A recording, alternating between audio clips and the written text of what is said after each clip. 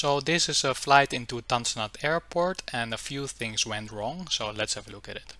So currently we're on the arrival, about to uh, turn right here.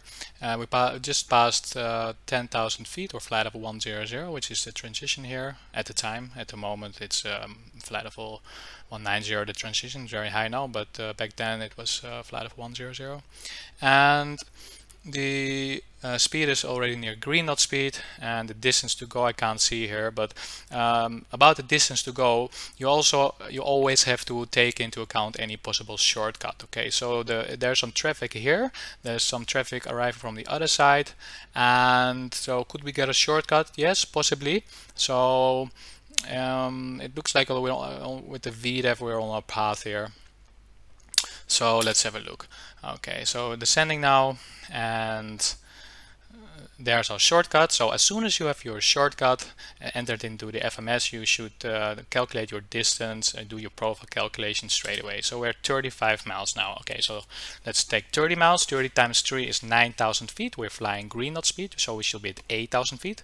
And for the 5 miles, we add 1,500 feet. So that's 9,500 feet. So at 35 miles, you should be at 9,500 feet. So we're on profile. So far, so good. Okay.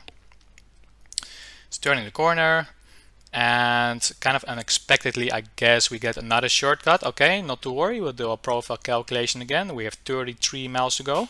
So we calculate for 30 miles. 30 times 3 is 9,000 feet. Minus 1,000 to slow down because we're near green dot speed. So we should be at 8,000 feet. So at 30 miles we should be at 8,000 feet. Okay we can't see the distance at the moment because the, uh, the page oh there it is. Okay so uh, let me skip ahead a bit until exactly 30 miles. So there's 30 miles so it looks like we are 400 feet high. Is that a problem?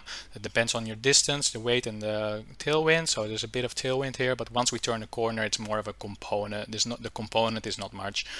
And the weight, can't see it. It's a bit there's some sun glare there. So 58 tons, I think. So that's a bit on the light side. So that's not really a problem here. So we could say we are still on profile, slightly high perhaps. Okay. So continuing our flight. Um, okay, so we're now 10 miles beyond the traffic uh, in front, so the separation is good. And so let's see what happens next. So it's 25 miles here. So let, okay, 24 miles. So let's calculate for 20 miles. So 20 times 3 is 6,000 feet minus 1,000 feet to slow down because we are near green dot speed. So that makes 5,000 feet. So at 20 miles you should be at 5,000 feet. Now you can, uh, knowing that 3 miles is a 1,000 feet, you can see that we're still a little bit high on, on profile. And uh, you can also see that the vertical speed here kind of reduces. The reason for that is because we're flying through cloud and there's quite a bit of convection below the cloud here. So these updrafts uh, cause uh, us to get a little bit high on, uh, on profile. Okay, so that's something, that, uh, that's definitely something you have to watch, especially at the lower altitudes. Okay, so um, skipping ahead, so we have 20 miles here, so we should be at 5,000 feet, and we are actually at 6,000 feet now. So you see that before we are only 3,000 of the 300 feet high, and but due to this this convection from the cloud, suddenly we are a lot higher. We're now at 1,000 feet high. Now, anytime you are uh, above the profile, if you're less than uh, 80 miles away, you should apply drag using speed brake. Is that done here? No, there's no speed brake. And also, um, perhaps also a bit unexpected, we get another shortcut. Okay, now before you accept the shortcut, always make sure that you can do it.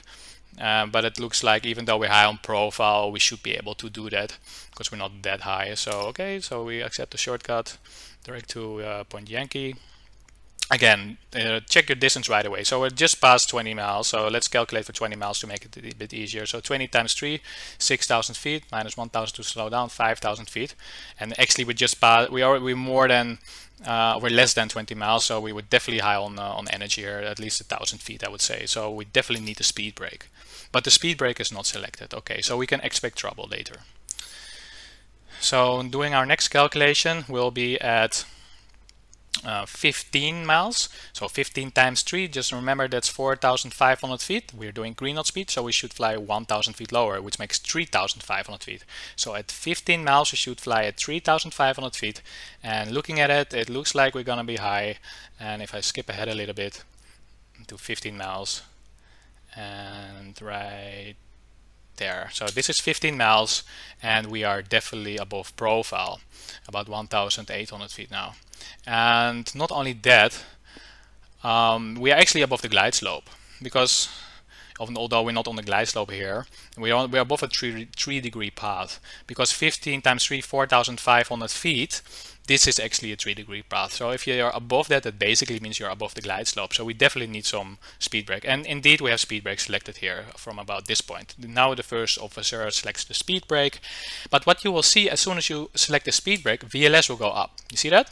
There goes VLS. And now a very common mistake is, is that people see, oh my god, there's VLS. I can't have that. I'm gonna uh, get rid of the speed brake. So uh, some people, they stow the speed brake then to go to let VLS go uh, to get rid of VLS. You see, there's a speed brake road. Yes, VLS goes down now, but the problem is you are high on energy. And anytime you are high on energy, high on energy, you will need drag. So do not stow the speed brake.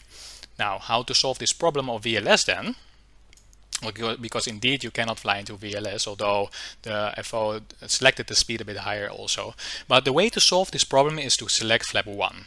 If you select flap 1, then VLS will go down, and then this is not an issue anymore. One thing though, if you are high on energy, you should not uh, slow down straight away because, well, at least not if you're close to the approach, because if you do so, you might end up on above the glide slope. And putting the aircraft on the glide slope has priority over slowing down. So always force the nose down so that you are on the glide slope. And if that means that the speed is too high, deal with it in another way. In this case, the speed brake or the gear down. Okay, so that's that's a mistake here. We should not stow the speed brake and also be, knowing that we are already above the glide slope um, we, we probably will need the, the gear a bit early later on perhaps already here. So let's see what happens next. Okay let me skip ahead a little bit. And so now we are so descending passing 4,000 feet. Okay, so now the mode is changed to vertical speed. Okay, there's nothing wrong with it. That's what I do also. I also change the mode from about 4,000 feet to vertical speed because then I have exact control over the pitch and the vertical speed and I decide where I intercept the glide slope exactly. So that's good. However, anytime you use vertical speed, you need to put the speed bug below the current speed. Otherwise, the aircraft might add power. Like you see here, the trend arrow goes down. That means the speed is reducing. And at some point, the aircraft will add power to maintain the speed because the speed bug is selected right there. So vertical speed is good, but you should manage your speed. And if it's not managed, select it lower. But anyway, you should the approach phase should already be activated here. So you can just manage your speed.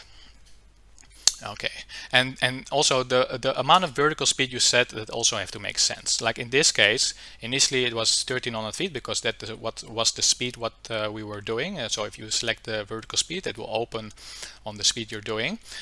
And then knowing that you were before you were already above the glide slope and you want to actually intercept the glide slope at 3000 feet, one dot below the glide slope, or uh, if you fly already one dot below the glide slope when you pass 3000 feet that's why you want to select flap 2 but you can't do that at the moment you can already see that you're too high for that. So you should increase the vertical speed and not reduce it like in this case. Now that the vertical speed is reduced even further to 1100 uh, feet a minute down and that is not correct because now we might end up above the glide slope. Um, okay and we also have a little bit of a tailwind so that doesn't help Okay, so now flap 1 is selected. Uh, next mistake, uh, uh if anytime you uh, select flap 1, um, then, uh, okay, th there's several ways to do this. If you select flap 1, there's two reasons why you do that. One is to get rid of VLS, so that you can uh, apply the speed brake and the other reason is to slow down. But here we are not applying the speed brakes you see. So if you select flap 1 okay then I guess that means you want to slow down. But the first officer is not slowing down. Okay so now he's slowing down. Good. Um, so now the thrust will be forced at idle because the speed bug is set lower which will be S speed. But uh, you see me pointing at the screen here because I'm doing instruction. But what, what's happening now is that we're passing uh, 3,000 feet. We're actually uh, slightly above the glide slope.